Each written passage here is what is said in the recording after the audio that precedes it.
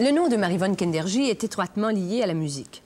Elle fut tour à tour ou simultanément commentatrice d'émissions musicales à Radio-Canada, professeure à la faculté de musique de l'Université de Montréal, présidente du Conseil canadien de la musique et de la Société de musique contemporaine du Québec.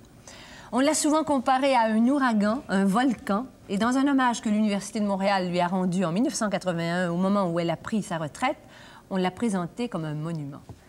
Vraiment, Kenderji, qu'est-ce que ça fait de se faire, qualifier de monument? Euh, j'ai réagi euh, au moment où mon cher collègue, euh, on a lu le texte de mon cher collègue Robert Léonard, mais heureusement il a ajouté, mais pas à mettre dans les musées parce que je me voyais déjà momifiée, mais ce que je suis incapable d'être, pour le moment tout au moins. Vous êtes arrivé au Canada en 1952, la première fois. Oui, exactement. Et vous êtes venu vous installer définitivement en 1956, c'est-à-dire je suis partie, j'ai passé trois jours, quatre jours à Montréal et je suis allée m'installer dans l'Ouest. C'est pour ça que de temps en temps, m'installer même pas.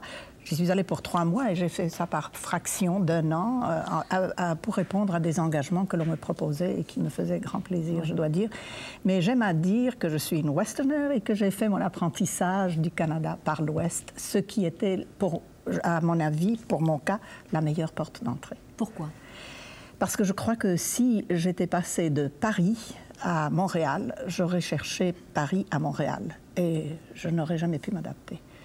Mais aller dans l'Ouest, voir ce pays qui est une merveille euh, d'immensité, me sentir sur une autre planète, mais en même temps dans la lumière, dans la lumière de la neige, le soleil, le soleil de l'Ouest. Vous connaissez l'Ouest Bien sûr. Vous allez, bien mais bien sûr.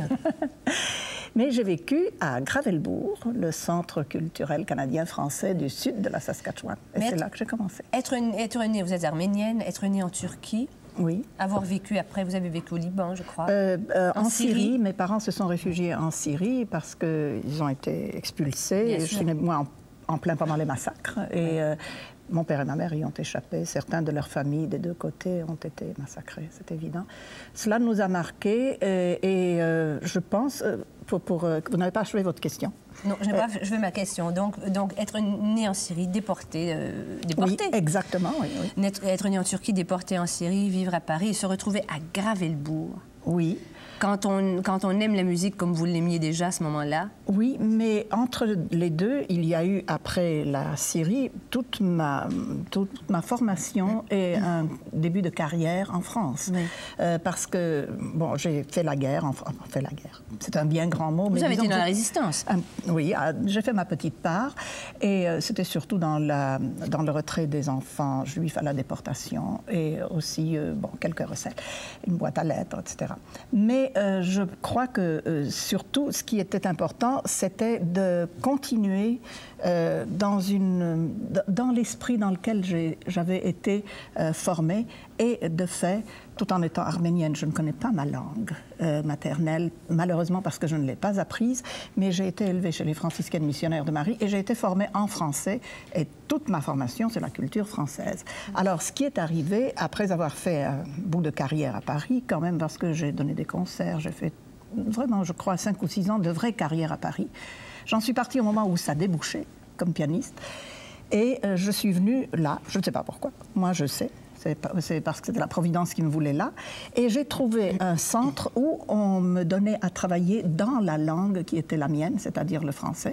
Et quand je suis venue ici en 56 et que Marc Thibault m'a engagé à Radio-Canada, alors que moi je voulais retourner à Paris, j'ai eu à travailler dans ma langue. Voilà, je crois que c'est ça l'explication. Mais dites-moi, Marie-Vonne Kinderji, quand on est arménienne et qu'on ne parle pas sa langue, comment, comment vit-on cette identité puisqu'on ne parle pas la langue euh, Parce que je sais bien que vous avez, vous avez la conscience d'être arménienne avec tout ce que ça veut dire, euh, d'ailleurs, de, de passé euh, tragique. Oui, oui je crois que d'abord, j'ai la peau, si vous voulez, j'ai toute la constitution.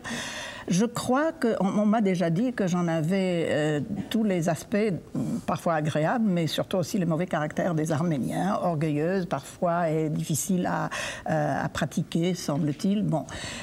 par contre, je crois aussi qu'il y a une, cette ardeur méditerranéenne que nous avons. Euh, vivre, ne pas, c'est en étant devenu adulte que j'ai le plus regretté de ne pas parler l'arménien. Il reste que je connais des œuvres de la littérature arménienne par la traduction. J'ai aussi la musique arménienne, et alors, quand même, c'est une, une, musique qui n'a pas besoin de langue. Euh, elle n'est pas très développée, cependant.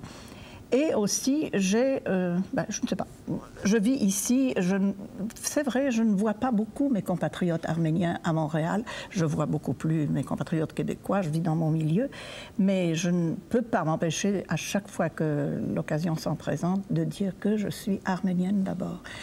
Mais, mais je, suis, je me sens très, très, très intégrée maintenant, vraiment. Je ne voudrais pas laisser d'équivoque. Je ne suis pas de ces immigrants qui disent euh, Je suis arménienne d'abord et je reste arménienne et je ne veux être que cela. Non, au contraire, je me sens très intégrée. Oui.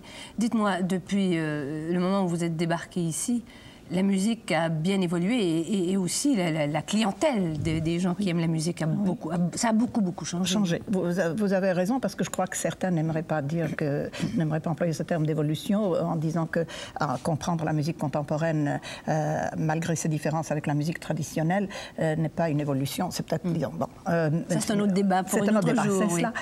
mais je crois que c'est cela qui est intéressant. C'est que, en fait, et ça coïncide un peu avec la fameuse année 1960.